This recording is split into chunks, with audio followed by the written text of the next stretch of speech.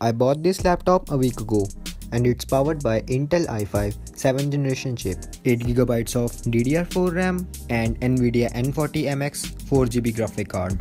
Screen size is 15.6 inches, Full HD IPS True Life display with LED backlit. The display is edge to edge and very thin, and thin bezel aluminium clad design looks stunning.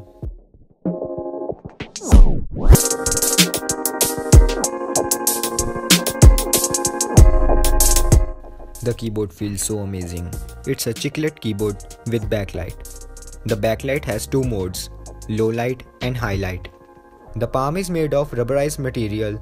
It's scratch resistant. The trackpad is very precise and surface feels smooth. On this side, we have Ethernet port, HDMI port, two USB 3.0 ports. One is with PowerShare. With PowerShare, you can charge your devices even when laptop is powered off. On the other side, it has one USB 2.0 port and SD card reader.